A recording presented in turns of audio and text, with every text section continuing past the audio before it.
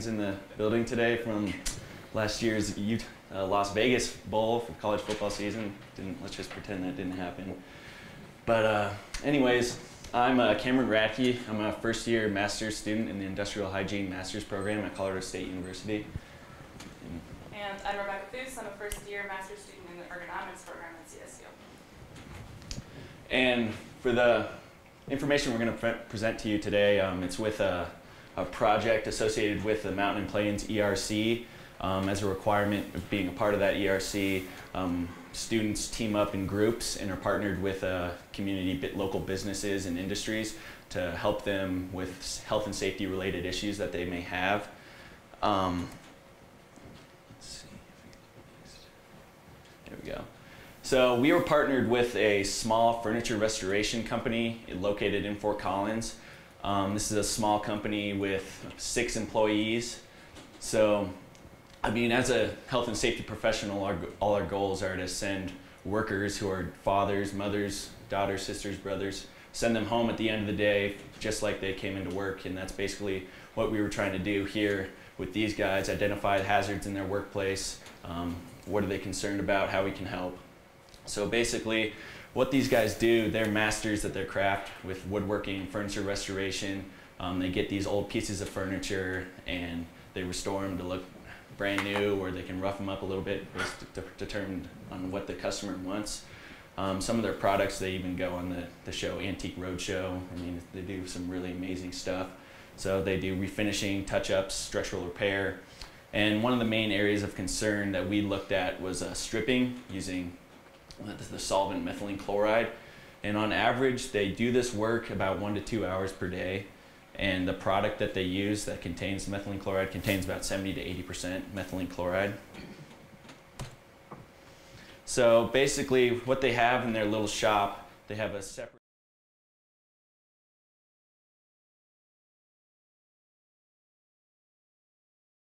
Um, it gets kind of gunked up. The methylene chloride gets everywhere. Um, they have buckets of it laying around and the paintbrush or the brush there is what they use to scrub with the furniture. So that's what it looks like when we first entered the site.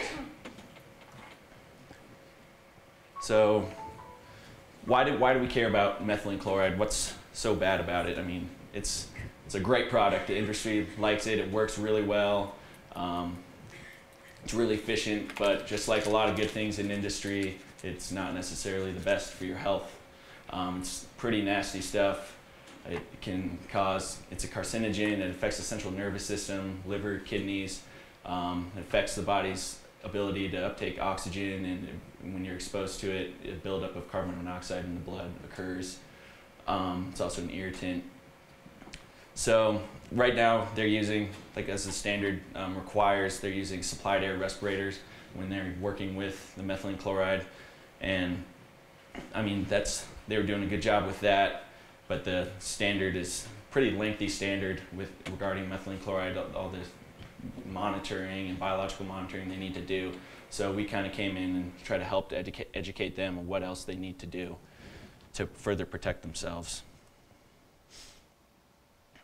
So the first step when we arrived, we wanted to see what their exposure actually was working with this stuff on a daily basis from one to two hours.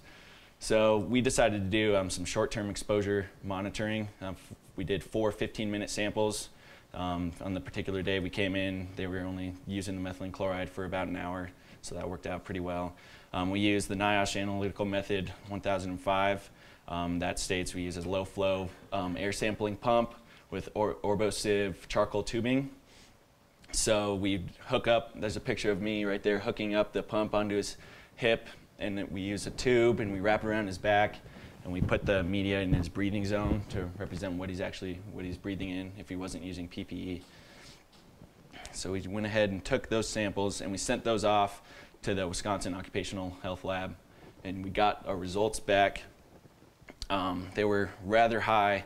The short-term exposure limit is 125 parts per million and as you can see all of all each sample was well over that.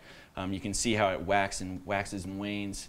Um, the first sample was when he was act actively stripping, and then they move over to the rinsing area and they rinse it off rinse off the product, and then the third sample is when he goes back to the stripping area and, and begins stripping again. And the fourth one is the rinsing cycle again, so you can kind of see how it fluctuates depending on the task that he's doing. And then, assuming no exposure for the rest of the day, you can calculate the eight-hour time-weighted average. So of 48 parts per million, and then the OSHA PEL, the permissional exposure limit, is 25 parts per million. So 48 is well over that as well. So and it's well over the action limit also. So we kind of have a visual here explaining the really tall one is the short-term exposure limit in red, and then the second red one is the the time weighted average, the eight hour time weighted average that they were exposed to. So basically, what they have here, they have a ventilation system in place that it may or may not be performing as it's designed. So we kind of want to balance out the ventilation and the engineering controls with their exposures because right now they have pretty lousy ventilation so it's really low and then really high exposure because we really want to kind of balance that out right now so Okay. So just a little bit about our ventilation measurements that we took. Um, the picture of the stripping area, as you can see, has some little red asterisks on it, and that represents the different sampling areas that we measured. Um, we did sampling throughout the stripping room, but for this booth specifically, it was every three feet at both waist height and um, shoulder height, breathing zone height, uh, to get an accurate representation of what those flow, what the air velocity measures were within the space. Um, and that's just a picture of the velocimeter that we used. And these are kind of the results that we came up with. Their average face velocity is 54 um, feet per minute, and that is compared to the acceptable value of 100. Um, so it's pretty low. Their ventilation system is definitely out of date and needs to be upgraded. Um, their current ventilation system, the main reason why it's so low is they have a small sized fan. It should be upgraded. Um, currently it's 15 inches and it needs to be more like 24. We did do a ventilation survey um, as a different class project that gave us those specs. And so they did all of the calculations and that's what they're coming up with. They need a higher horsepower fan because currently they're less than one horsepower. More like four horsepower would be good and a bigger fan size. Um, there's also a methylene chloride buildup in the plenum or the chimney that takes all of that exhaust out of the building. They need to start cleaning that regularly because, as you can see in the previous pictures, it's kind of everywhere. So, um, some other intervention strategies that we proposed to them, they incorporated a couple that we have proposed in the past, such as the ventilation slots in the back of that stripping area that suck the air out. Um, before that, it was just a solid wall, which wasn't really doing anything for airflow.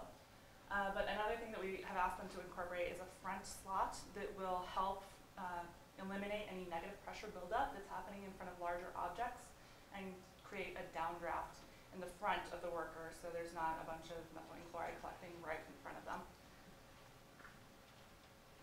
Uh, as far as recycling goes, they do reuse their methylene chloride. It probably gets, actually I don't know how many uses, but I would assume about three to four. It kind of varies on what they've been using it for um, because methylene chloride will take off anything from like a really, really, really strong veneer to stains to paints, really anything. Um, but their current recycling mechanism is simply to collect it, as you can see in the bucket that's next to the stripping area. Just to collect it, open air, it's not a closed system. They strain it through a large mesh sieve, but that's about it. They're not doing any sort of filtration. And then they just take that drum and they pour it back into the mother drum. And so they're actually diluting their methylene chloride drum, the 55 gallon drum, with essentially polluted methylene chloride, so it's losing a lot of efficacy. So, in terms of ergonomic interventions, we also proposed a couple things for the stripping room in particular. Um, they have the stripping table, as you can see, and then right next to it, so to your right, is the rinsing table. And those two are separated by about a foot. And we proposed to them that they could couple those tables, push them together, take away that baffle, which is necessary for ventilation, but instead make it like a weighted curtain that they could slide backwards. Um, and then potentially install a sling lift that could help them transfer items from the stripping area to the rinsing area. They could do it with one person, which is important because currently they only have one supplied airline. So right now, with any larger pieces, they're actually having somebody go in um, and have to help move those pieces without the appropriate PPE and supplied air. In terms of exposure monitoring, OSHA does require that if you are working with methylene chloride, you determine if your employees are being excessively exposed. If you're above the 12.5 action limit, you have to do continuous exposure monitoring. Um, that includes biological surveillance, such as carbo- carboxyhemoglobin measures, um, tests that your OCMED physician might recommend, um, liver function tests and cholesterol level tests, with other things kind of depending on a case-by-case scenario and what your physician decides. Um, but those measures have not been in place for them for at least the last eight years. We're not sure before then if they ever were completely up to date in those specs. Um, another thing that they have done for us, which is good, is they installed an inline flow meter. It's essentially just a flow meter in their supplied air line that calculates the cubic feet per minute that they're getting into their hoods. Um, it was at 5.6. It's supposed to be between 5 and 10 in order to ensure that that positive pressure system within their hood is giving them clean air to breathe. We are going to do some further testing just to make sure that the air in their hood is not getting any uh, methylene chloride exposure, but it shouldn't be at that level at the flow rate. Um, another thing is that they are required to do quarterly monitoring, such as we did for them. Um, one time a year, they're supposed to come in and do the full uh, testing where somebody who is qualified can come in with a carbosieve and collect, you know, at least four cell samples and figure out what their exposure levels are. And then the other three times a year, they can just use a little badge that they send in for analysis. So the recommendations in summary, um, they're moving to a new facility, so that's actually perfect timing for us. We're moving in about two months. And so they're gonna be able to build this ventilate, or this dripping room from scratch and the ventilation system from scratch and get everything up to date. Uh, so they're working on that. We've given them specs. This is a picture of one of the specs from the ventilation paper that we gave them. Uh, they've done some of this as in the back slots they've built in already, but again, they need to install that front slot and they need to incorporate a recycling system, which they're interested in doing, buying an industrial recycling system for their methylene chloride. Um, and also hopefully they'll couple those two tables to make it a little bit more user friendly. Um, and then biological surveillance, they just need to come up to date on that. Um, that's required by OSHA. There is no reason why they shouldn't be doing it. They just were unaware that they should be doing it. So we told them that they need to go in. Um, we recommended an OCMED physician that's local uh, that can kind of establish a baseline for them and get them up to date on those records, um, which they're supposed to maintain for 30 years past termination of each employee. So hopefully they'll do that soon. And then we'd just like to thank Dr. Blazwick and the University of Utah, and thanks for having us here today. Any questions? Okay. With all the hassle they're doing and the expense of using methylene chloride, have you looked at substitution, acetone, Yeah. interference, something like that? Um, in industry, there's been a lot of effort in that direction, but there's really nothing that is as fast. They can Yeah. literally put it on 15 minutes later, take off all of the paint, all of the veneer. Nothing else works that quickly. Other, other things take a period of hours. Um, so really, for their purposes and any, it's heavily used in other industries as well. Any industry prefers to use methylene chloride, but it is very costly in the EU. Actually, it's not even available for con- consumer use. Um, they'll allow it for industrial use, but it's been outlawed for general consumers. So. I'm just curious, what, what is this re, uh, commercial recycling process? I mean, they spin it down as a filter or? I think it's a filtration process. Um, there's no real way to recover what's already been used in terms of, you know, eating at that veneer or paint or whatever it was that has essentially quenched that methylene chloride and it's no longer utilizable. But if you can filter out any of those particulates, filter out anything that has been made inert, then you can recycle. You can get the excess that was. Yeah. But like right now, they just, all of the large, larger particulates that are suspended in the methylene chloride are going directly back into their system. So, it's just not good. Just looking at your rough measurements, the very baseline, um, just thinking that it's useful information, but would you want to also collect some more of that information with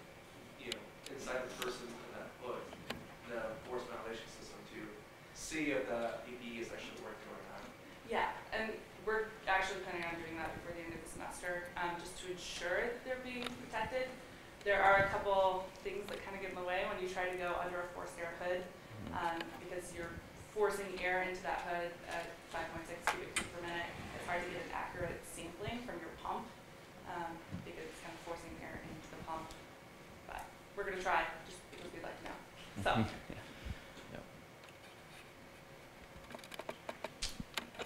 Was this done in response to workers' comp claim, or was it preemptive? It's preemptive. Uh, they actually contacted CSU about OSHA consultation. He has um, several OSHA consult, consult, consultants in our facility. Um, and so they reached out after transfer of ownership. Eight years ago, they were working with OSHA, OSHA consultation and did a lot of intervention, um, but then kind of disappeared and changed owners. So they're trying to bring it back up to standard. So. Are they aware of any of the EPA requirements for hazardous waste when you I mean, they have somebody come in and take their used methylene chloride drums. and other waste? Yeah. Mhm, Yeah. Yeah, but beyond that, I don't think they are, so. I just have a clarification. So the Colorado Consultation Group uh, is run, the OSHA, Colorado OSHA is run through CSU then, is that what you're saying? Yeah, yeah, on Okay. campus, there's CSU has an I know a lot of consultation. states do it through universities like that. Utah hasn't done yeah. that. We, we work pretty closely with them actually, like That's a we're great taking a resource then safety within course right university. now. We have to go out with them, so. Yeah. All right, well, let's thank our speakers.